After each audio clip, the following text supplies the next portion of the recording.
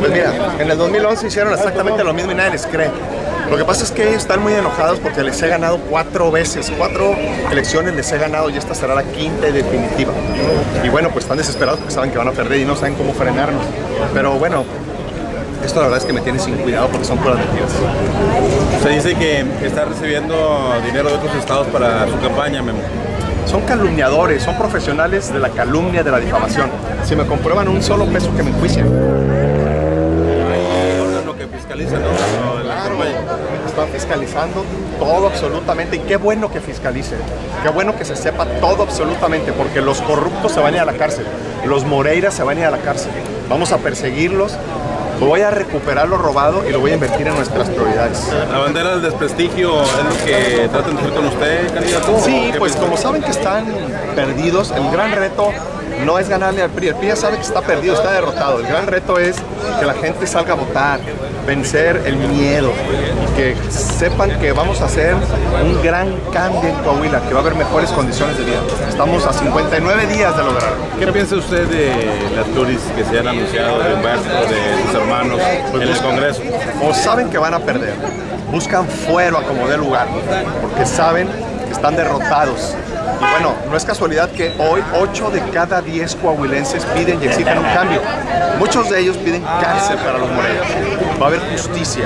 Voy a recuperar lo robado y lo voy a invertir en salud, en medicinas, en infraestructura, en seguridad. Eso es lo que voy a hacer una vez que gane. Faltan 59 días. Señor, ¿se puede creer en las instituciones del Estado, en el, en No, por supuesto que no. Y en el YEC, qué bueno que me lo comentas, es un llamado para que no tuerzan la ley, para que no se dejen torcer la mano, que no caigan en la tentación de hacerle el juego a Moreira, a Guillón, a esas personas que se mandan mensajitos con los consejeros.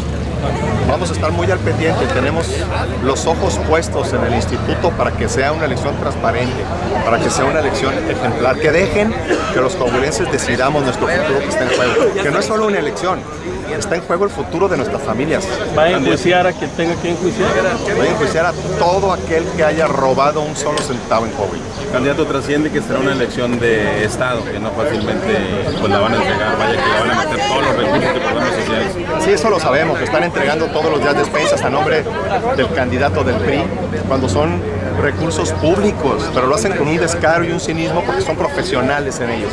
Pero la ciudadanía va a tomar eso y va a votar por nosotros porque quiere libertad. Los programas sociales que vamos a implementar se van a, a llamar libertad porque vamos a liberar a Coahuila. Va a haber programas sociales realmente que saquen a la gente de la pobreza, que no volvamos a condicionar un solo programa social por un partido político, sino que lleguen todos los programas de desarrollo humano a quien lo necesita, sin importar color. Van a estar mejorados todos los programas sociales.